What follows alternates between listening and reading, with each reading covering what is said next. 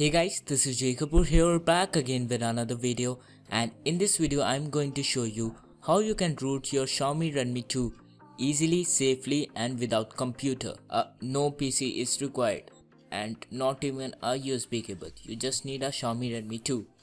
So what you have to do is to first download the zip file from the link down below in the description. It's a root file. Just download it. Now go to your phone settings. Now scroll down, go to about phone option now go to system updates. On the top right side, you will see three dots. Click on that. Now you will see select update package. Click on that and uh, find that file that you have downloaded and tap on that and your phone will reboot. After your phone is rebooted, your phone is rooted. Go to Play Store and install Super SU app.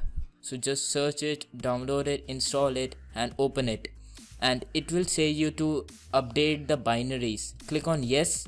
It will say you to which method? Click on normal method. Installation completed. Reboot system. Click on reboot. And once again your phone will reboot. And now you have proper root access. So that's it for this quick tutorial. Uh, unrooting video is also coming. So make sure to subscribe to my channel. So that's it for now. Thanks for watching. This is Kapoor signing off